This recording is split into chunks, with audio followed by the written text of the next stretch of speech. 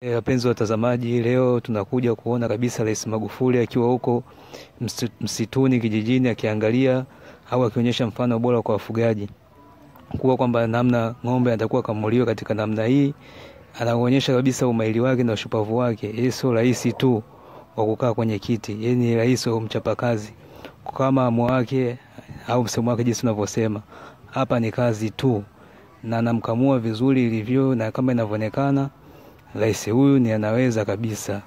Jionee, huyo na utaratibu kama mwananchi wa Tanzania kutoa kula yako kwa rais wa design hii, kwa yoyote yule atakayekuja na mwingine yoyote yule. Inapendeza sana. Jitahidi, tujitahidi sana kufanya kazi kama baba yetu rais anavyofanya kazi. Karibuni sana Mifugo Online, asanteni. Subscribe